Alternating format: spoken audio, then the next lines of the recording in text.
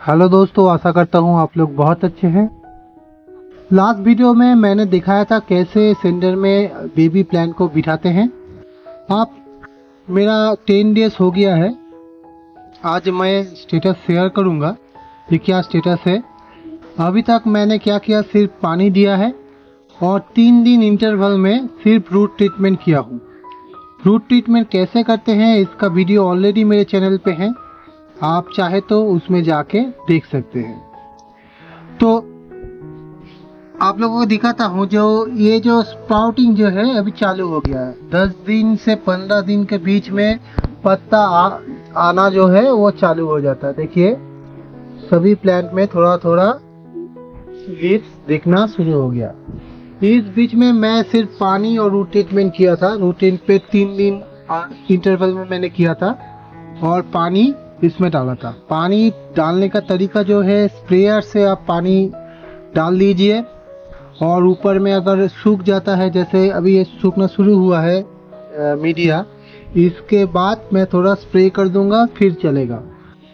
इसमें ज़्यादा मत पानी डालिए क्योंकि बेबी पैंट में ज़्यादा पानी डालने से उसका रूट जो है ख़राब हो जाएगा। तो मैंने इतना दस दिन तक किया है। आज भी मैं रूट ट्रीटमेंट करूँगा इसके ऊपर।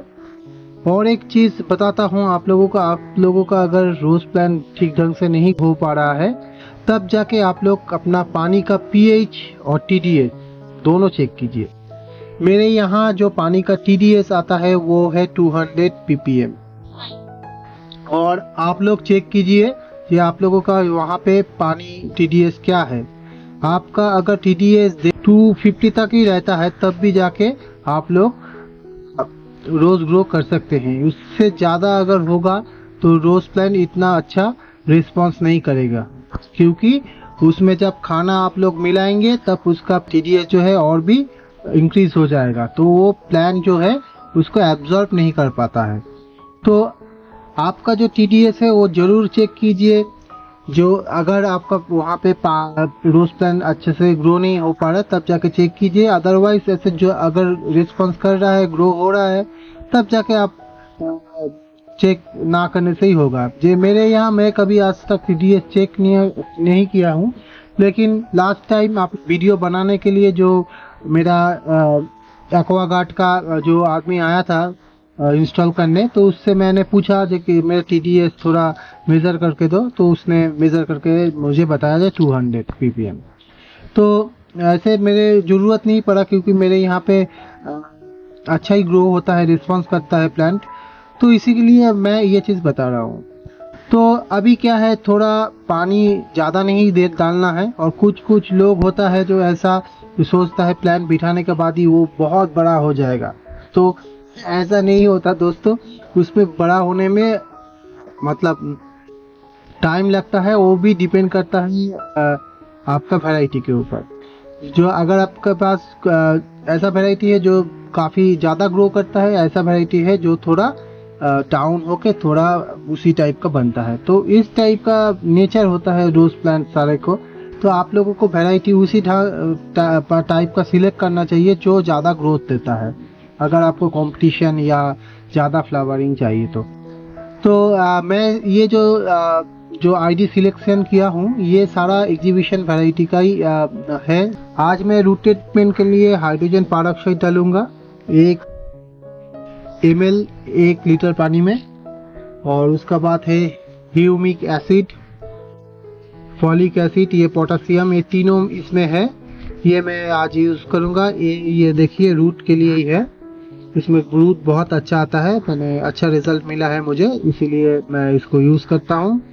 लेकिन ये कोई महँगा नहीं है, बहुत सस्ता ही आता है। तो ये ह्यूमिक एसिड है folic acid H B growth भी अच्छा होगा। तो इसको भी एक एम एल मिलाएँगे। और उसका बाद मैं डालूँगा सीवीट एक्सट्रैक्ट ये देखिए सागोरी का। ये सीवीट एक्सट्रैक्ट एक एम एल डालूँगा। और लास्ट में मैं डालूँगा रूटिंग हार्मोन कटिंग एज इसको आप एक ग्राम, एक लीटर पानी में मिला के इसको रूट ट्रीटमेंट कर दीजिए।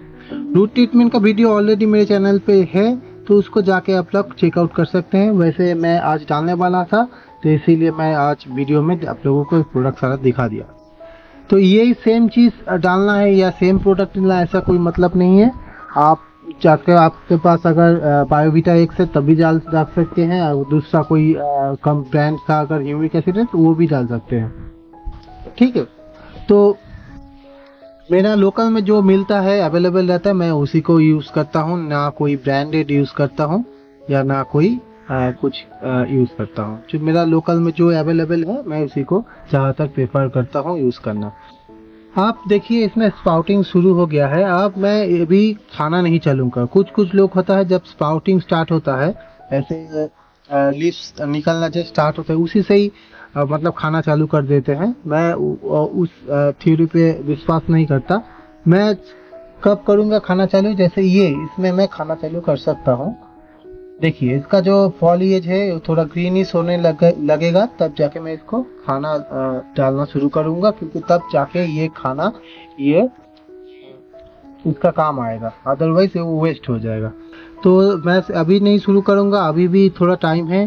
सारा लीफ जब ऐसे निकल आएगा क्योंकि एक को अलग से ट्रीटमेंट करने का टाइम बहुत लगता है, इसीलिए जिसका पास टाइम है तो उसी को खाना अभी चालू कर सकते हैं। जो भी रूट ट्रीटमेंट है, उसके साथ एक ग्राम बारह इकसठ मिलाने से इसका रूट वो खाना डाल सकते हैं। ऐसा स्टेज अगर आ गया। तब जाके जो चीज़ रूट ट्रीटमेंट पे डालते हैं आप लोग, उसी उसी में सिर्फ़ एक ग्राम आप लोग बारह इकसठ मिला के इसको खिला सकते हैं।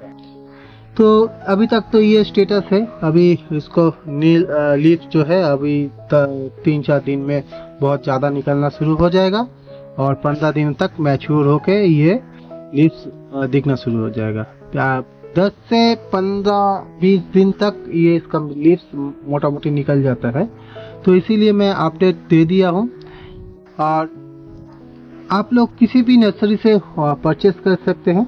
ऐसा कुछ नहीं है कि आप लोग को पर्टिकुलर मैंने विज़िट किया था शेखरपुर में तो वहाँ से ही परचेस करना ऐसा नहीं है। यहीं से जाके परचेस कर सकते हैं। बहुत सारा मतलब नर्सरी है, बहुत बड़ा बड़ा नर्सरी है, वो वहाँ से भी परचेस कर सकते हैं। तो ये तो था मेरा अपडेट छोटे बेबी रोज प्लान के लिए। तो आपको अगर ये वीडियो इन्फॉर्मेशन अच्छा लगा है वीडियो अच्छा लगा है प्लीज़ लाइक कमेंट शेयर कीजिए और सब्सक्राइब करना मत भूलिए।